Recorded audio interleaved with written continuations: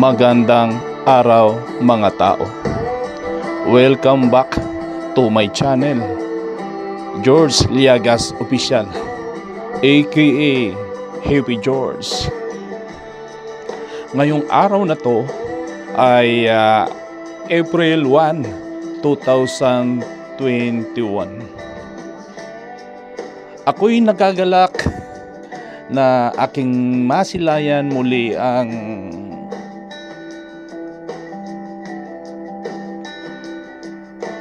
panibagong look ng Manila Bay. Sa bidyong ito ay ah, makikita natin ang kakaibang pagbabago sa kasalukuyan ng Manila Bay. At ang makikita nyo sa malabundok na kulay itim na yan ay yan ay ah, dolomite sand. Ay tinakpan lang yan ng ika nga luna. Yan ay kabababa lang sa barge, bagong deliver. So, naiiba. Naiiba ka talaga, Pangulong Duterte. Iba ka sa lahat. Ako ay isang OFW na kasalukuyan ay ah, nakabase sa kasalukuyan sa ilagang bahagi ng Europea sa bandang Europe sa Tallinn, Estonia at kung saan ikukumpara natin ang ah, improvement ng Manila Bay sa kasalukuyan ng mga aming napupuntahan ng mga lugar mga tanawin na kung saan yan ay dinarayo ng aming mga pasahero noong ang cruise industry ay wala pang corona. So, sa ngayon, kaya ko nga nabanggit, ang Manila Bay, kung tayo ay manumbalik na sa normal operation, ay talaga nga naman, ay ito ay ah, 1,000% o 100% ay ito ay dudumugin ng mga turista. Alam nyo ba na ang experience namin bilang ah, isang ah, crew members na on board sa isang ah, cruise industry sa cruise ship na nagtatrabaho sa isang cruise ship. Alam nyo ba ang bukang bibig ng mga pasahero noong ah, nasa normal operation pa ang ah, cruise ship industry ay ang tanong kaagad kung saan pwede pumunta ng magandang lugar.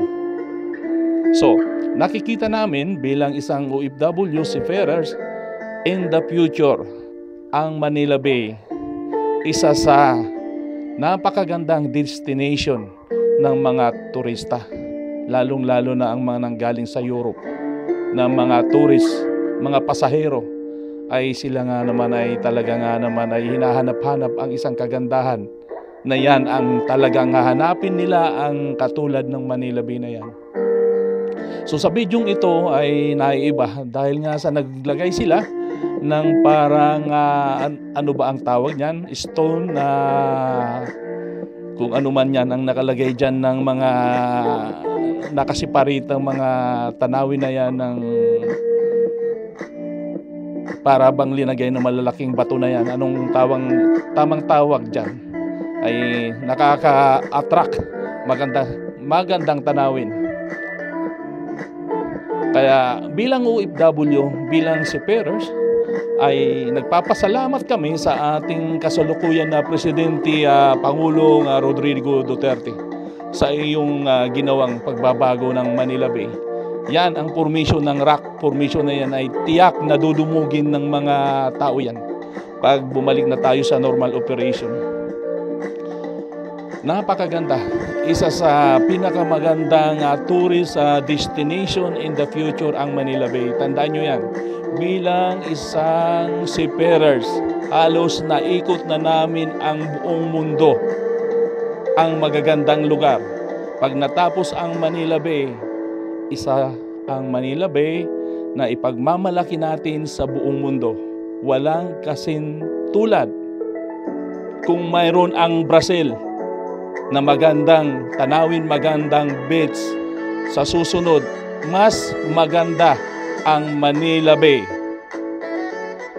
Kaya doon sa mga buzzers ng ating Pangulong Duterte kung ano ano ang mga sinasabi niyo ay ah, abangan na lang niyo ang mga sa susunod o kaya manahimig na lang ang inyong mga bunganga dahil walang maidudulot na maganda sa kakabas sa ating presidente na wala naman kayong naitutulong na maganda. Kung saan man kayo bilong, doon kayo sa dilawan o saan man kayo nanggaling na lupalop ng mundo, ay mas mabuti pang suportahan na lang natin ang ating Pangulo, ang ating ah, bansa. Nang sa ganun, ang ating bansa ay umunlad.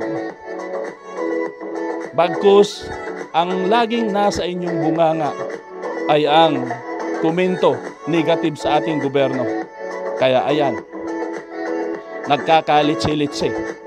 Hindi magkaisa-isa ang ating mga tao dahil sa inyong pang sariling kapakanan. Lalong-lalo na yung mga nanunungkulan na mayroon kanya-kanyang adikain sa sariling pamamaraan. So, bilang OFW, bilang isang seaman, kahit kami malayo man sa Pilipinas, mahal ka namin, Pangulong Duterte. Solid Duterte. So maraming salamat